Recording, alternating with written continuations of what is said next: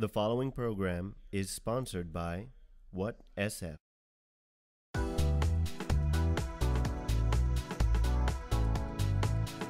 The Bay Area lifestyle, defined by local people, places, and events. It's in constant motion. We discover the Bay Area's countless dimensions.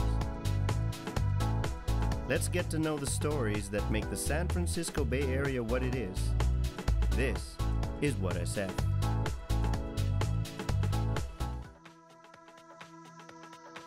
Today on What SF, we cover an exclusive event that brings winemakers from all over the Bay Area together to meet the sophisticated San Francisco wine drinkers. We'll take a deeper look into the amazing sport of badminton.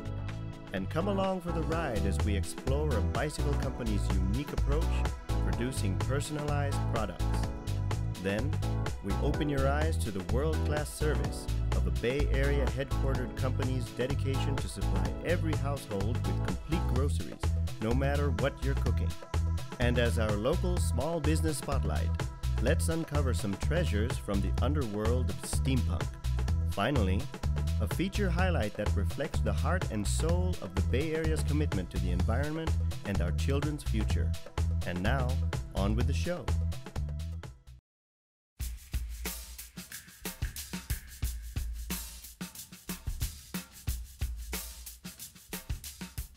We started uh, San Francisco Vintners Market uh, three years ago. We've been running the event uh, two times per year, spring and fall. Spring is for new releases, uh, fall is for holiday sales. And uh, we've had some great success with wineries uh, using it as a venue to get in front of new consumers. we've done six so far, and you know, we're, we're looking at other opportunities to do it in other places. But right now in San Francisco, it's a great event for wineries to get out in front of a new consumer.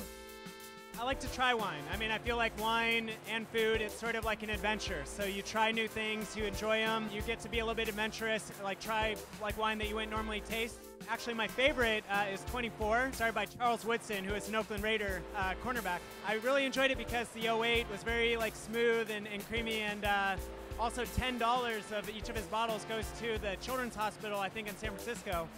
So it's, it's a great wine, it's a great cause so that was really enjoyable. I love white wine. So I've had a Moreno's a good choice. I love the, their wines normally, but I found a few others. Uh, there's Aubin Cellars. Uh, I like their wines, but um, I like sweet wines, so Rieslings and Gewürztraminers.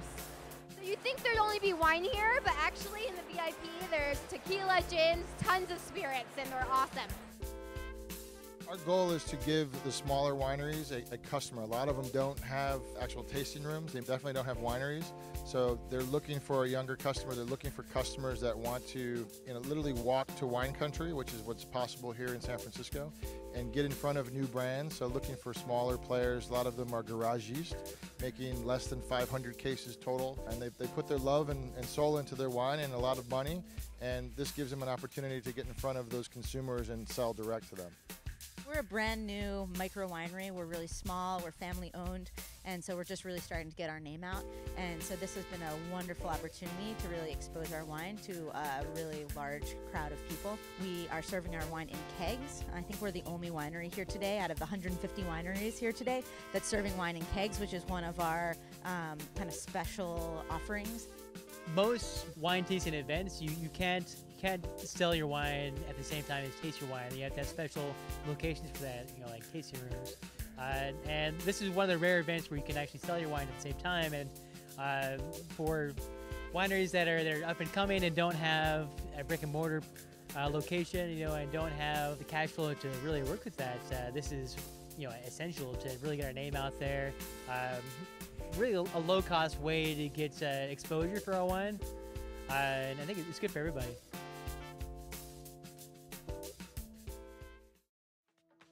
There's never a dull moment when you take up a sport that can help you in life. That's the theme behind this school that aims to develop the skills and healthy lifestyle for sports enthusiasts of all ages and every level. If you're already good or just starting out, the Bay Badminton Training Academy will transform you to become the best and baddest that you can be.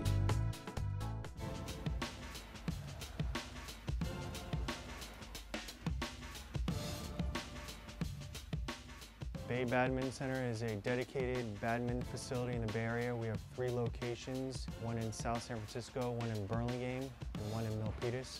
We offer school for the kids, training for adults, a full-time pro shop, and full amenities for all of our members. The beauty about badminton is that you can uh, develop your hand-eye coordination and motor skills, fine motor skills, because it doesn't just take a lot of strength and power, it also takes a lot of finesse to play badminton. We work very closely with all the local schools, the elementary schools, middle schools, and high schools to promote the sport of badminton. We have our full-time training academy at all three of our locations. We've got U.S. coaches, we've got coaches from China, from Indonesia. All these coaches have played professionally at one point in their lives. They played for their country and they uh, still actively compete in tournaments. My name is Arnold Setiati.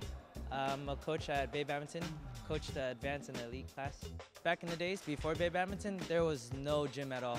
Probably a recreational gym at South City or Westmore. But other than that, since Bay Badminton opened with 16 courts, it brings a lot of people to play and it's a nice facility. It's safe, it's not in hardwood, it's um, rubber, so you can't get hurt that bad. Well, uh, I started playing when I was about four years old. I never liked being at home with my mom, so I always go with my dad. He played. So ever since I played with my dad, I loved it. I started training when I was eight. Loved it. Loved the uh, competition, loved competing, and get to meet other people. And also gets me fit. I started coaching here a year ago, and ever since that, I love it. I love working with the kids. It kind of reminds me of myself when I was young. On my first tournament, I, me and Annie received third place in doubles. So um, our coaches saw potential in us, and so we soon rise together. We're ranked two in singles and two in doubles. Without being coached, I would have been ranked really low because they support me a lot. Badminton is really fun because it helps you exercise and stay healthy, but um, it can be really tiring sometimes, but while you're training, it, you can have fun with your friends there, so like you always feel like you have a family during badminton. Ever since starting to learn badminton, my life improved by having more social friends and having exercises. Like badminton is like part of my life. Like besides edu education, badminton is probably the most important thing to me, and I'm really happy I learned it. We have uh, kids uh, that start at four, and we have grandparents all the way up to close to 90 years old. So this sport is very open to family, families coming in and, and different generations playing together. Uh, badminton is a good exercise, but it also it's fun.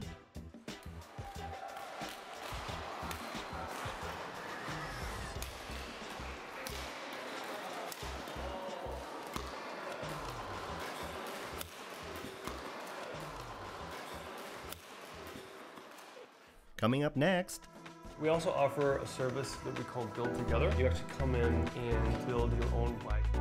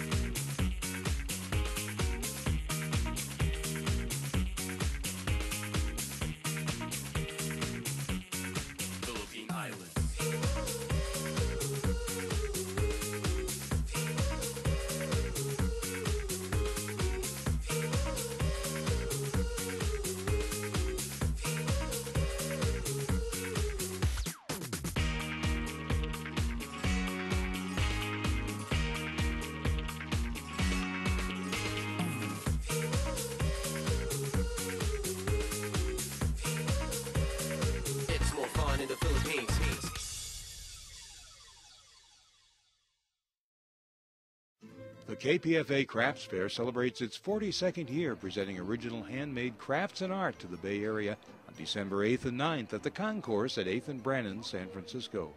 Visitors to the event will be regaled with outstanding jewelry designs, ceramics, artisan edibles, blown glass, wearable art, and so much more. The KPFA Crafts Fair, 10 a.m. to 6 p.m. on Saturday and Sunday, December 8th and 9th at the Concourse in San Francisco, a benefit for nonprofit KPFA Radio. You're watching What SF. Everywhere you look in the Bay Area, chances are you'll see someone on a bicycle. While riding a bike is fairly popular already, one company opened up in the heart of town where bicycles rule, but with a twist. Let's focus in on this local business's philosophy that can take buying your bike to the next level of personalized production. We visit Mission Bicycle Company.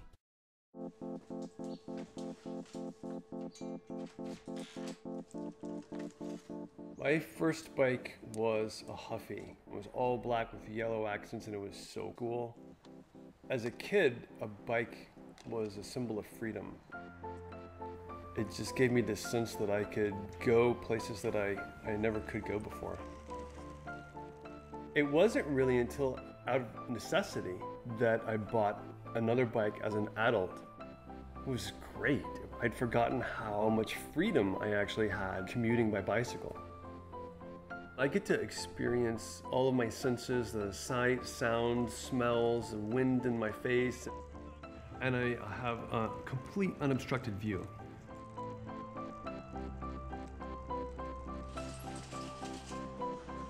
We sell bikes and gear specifically for city riding.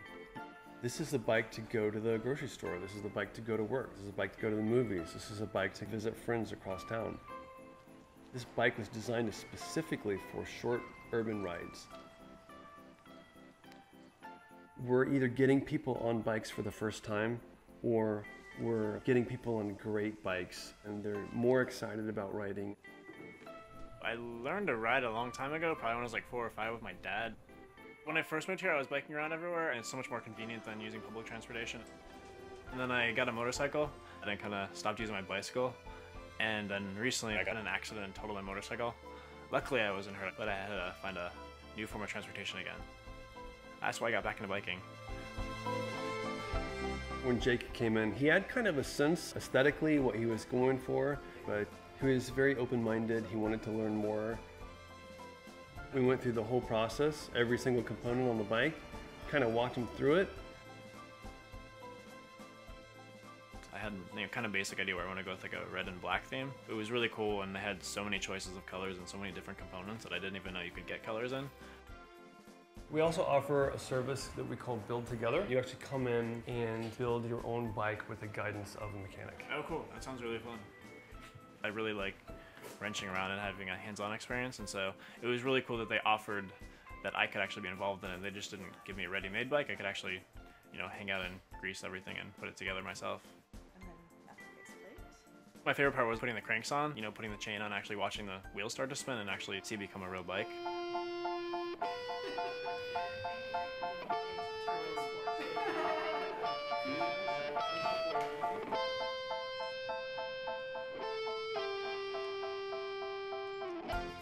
I first got on that bike, it just felt perfect.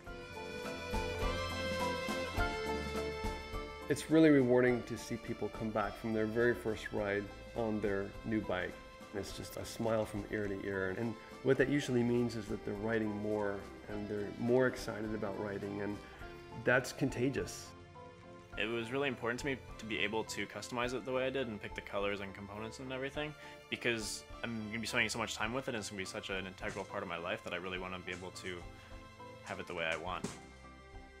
As long as I'm riding my bike, then at least I've got that one moment where I'm by myself, there's no emails, there's no text messages, there's no phone calls. There's just me sailing through the city. It doesn't seem like it should be such a big deal. It's such a simple machine, but it can have such a profound impact on our lives every single day.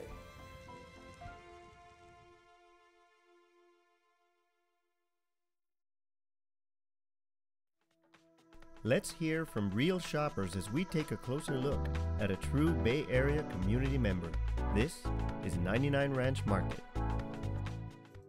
99 Ranch Market has set up service staff and trained professionals to assist you and ensure that your experience at any of their grocery locations is convenient, complete, and pleasant. They are sensitive to this emotion, and their philosophy emphasizes professional customer care to ensure this result. And whether it is for a special occasion or for your traditional family holiday gathering, 99 Ranch Market has trained personnel on site who are ready to provide assistance. No matter what cuisine you grew up with or what new recipe you want to try, this is a complete and convenient grocery for you. 99 Ranch Market also works with local catering companies to fulfill their requirements. Consistent quality is very important when you are serving a large number of guests, so special attention is given to these requests. Their stores are designed to be very free flowing, full of light, and stocked with products sourced from local suppliers, farmers, and distributors as much as possible. Ready to go packaging of produce, fresh seafood, and fine meat cuts are also prepared for additional customer convenience. Think of them as a very, very large version of your local neighborhood grocery. Today I'm at 99 Ranch Market because we're having some friends and family over and I want to make a nice steak and fish dinner for them. I'm not very good about planning menus, so I'm going to wander through and fill in what I need. They have such a great variety here. I know I can get everything I need for a nice meal tonight. I really love the meat and fish section here. Everything is so fresh. Tonight I plan to make a beef tenderloin and I know they have a great selection of that here. I also want to make tilapia. I don't like to put a lot of seasonings on my fish and they have fresh fish here. I know that'll be good no matter what I put on it. I like to make all sorts of food. I make American food and all types of Asian foods. I have a lot of friends from different cultures and they give me recipes. I love to try them. I know when I come to 99 Ranch Market, they'll have all the ingredients I need no matter which cuisine I pick.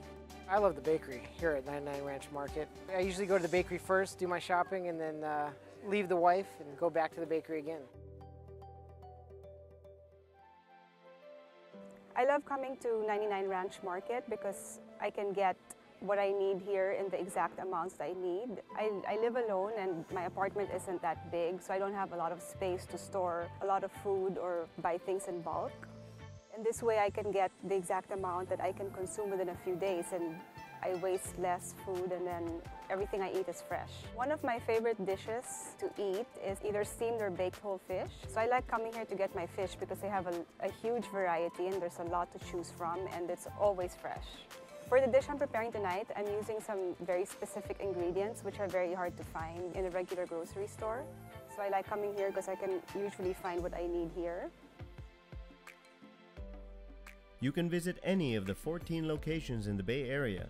You'll find that they strictly follow the same philosophy and customer care in each and every store. So the next time you are planning that menu or stocking up on supplies, there's probably a 99 Ranch Market not far away. You can make any occasion a special one by integrating international flair with your next family meal. Just like the Bay Area, 99 Ranch Market is a collection of every walk of life and multicultural exchange starts at the dining table. And now for our local business spotlight.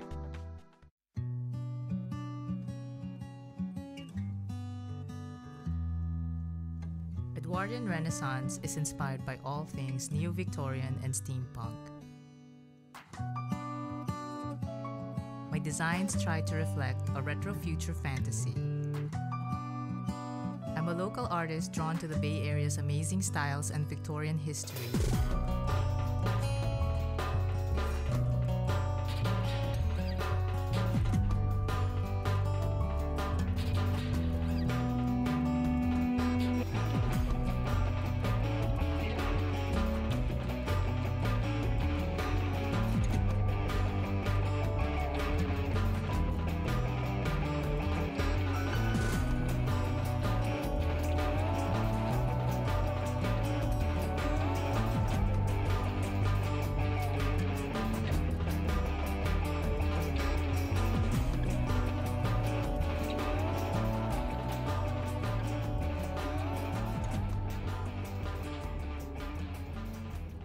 Check out my online shop on Etsy.com and look for Edwardian Renaissance.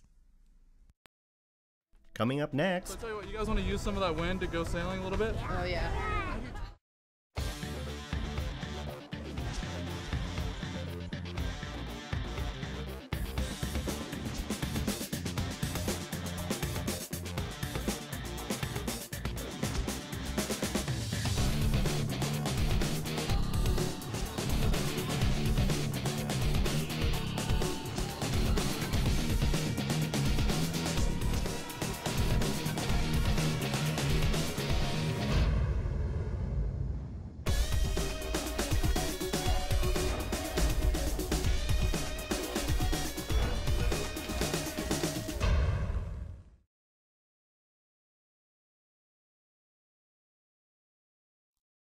Gratin de légumes with uh, uh, white fish en papillote. White fish on papillote. Mhm.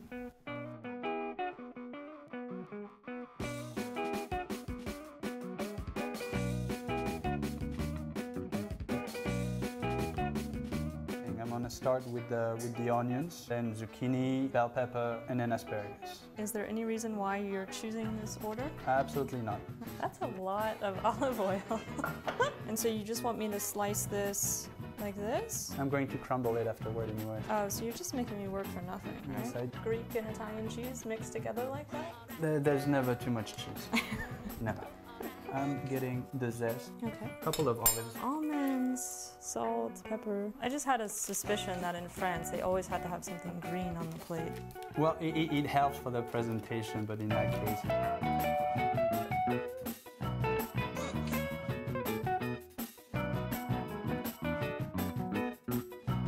Happens if I Then- tear this? Well, you're going to Okay. destroy the dish. Scare everyone. No, no, no. one's it, it has it has to cook covered, completely covered. Mm. Perfect.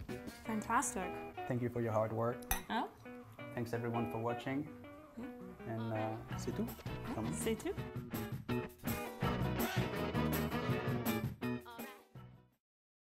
You're watching What SF.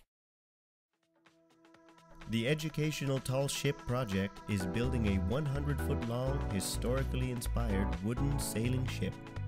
This vessel will be environmentally sustainable and will operate as a teaching vessel for thousands of Bay Area youth and adults. This will be the first wooden vessel of this size built in the Bay Area in over 80 years. We get to call, as it says, to the sea people of all origin for an ocean wilderness experience. Kids that live near the ocean and near the bay, but take no part in what it is. We get to provide that. And we're going to turn all of you into sailors and oceanographers. Can anybody tell me what an oceanographer is? Yes. Uh, somebody that I guess uh, studies the ocean. Boom. You got it. I'm done.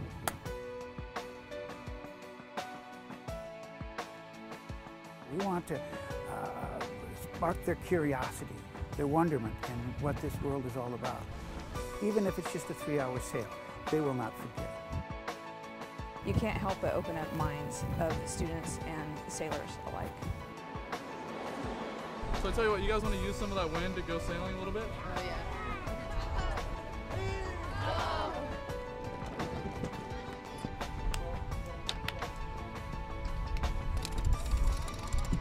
When you're on board, you're experiencing the dynamic of the boat as the sails fill and as we turn off the engine after getting out of the slip.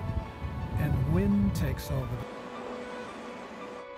Uh, magical stuff happens when you get kids out in the outdoors, out in this beautiful bay and marine ecosystem that we have here in the Bay Area. The water here is completely green because of plants, tiny microscopic plants living in the water. You guys want to? You guys want to see what they look like? Yeah. You, you can actually use something like this to integrate the entire curriculum and create a really connected opportunity for students to learn. Well, I can just see him by the naked eye. Yeah. You're always looking for when the lights go on, and when you have that hook, where you know because they're so interested in something, they're going to learn. And that's what adventure can do for you. You just, the lights go on, you connect it to what you're learning in school, and suddenly you're a real learner and you want to learn and you want to apply what you're learning to the situations and the environments that you're in. Plankton make the majority of the oxygen in our atmosphere. Well, plankton make air.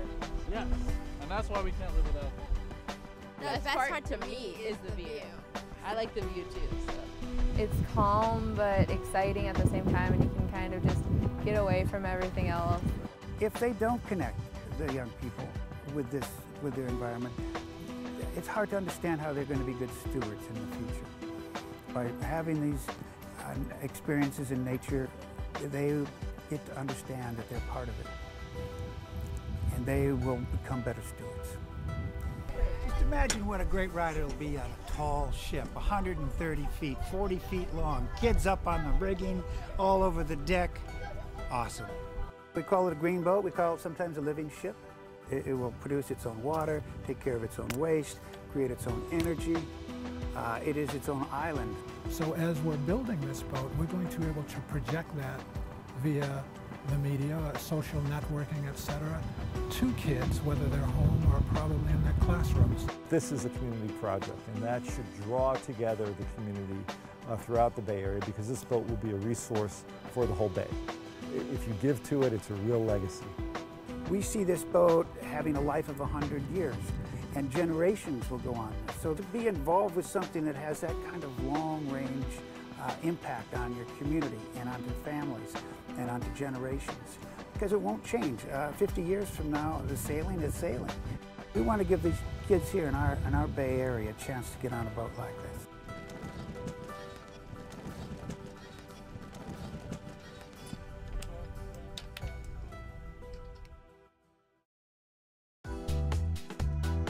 Thanks for watching this episode of What SF. Special thanks to all of our participants, producers, and sponsors. If you want to be on the show or give us feedback, email us, follow us, like us, or look us up. Until then, remember if you're local, you should be vocal. Be the show. The preceding program was sponsored by What SF.